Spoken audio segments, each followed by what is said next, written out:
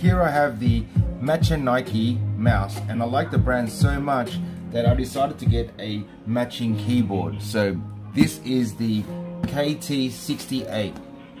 In the box you get the keyboard itself, keycap puller, switch puller, a quick guide and also your Type-C cable with a USB dongles so that you never lose it.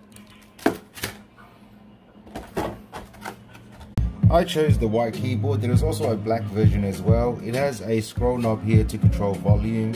It has a desktop switch here and I got mine with the red switch. Sounds very nice straight out of the box and it has a transparent case.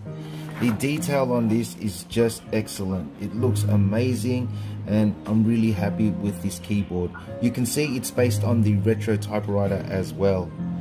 So just a beautiful keyboard.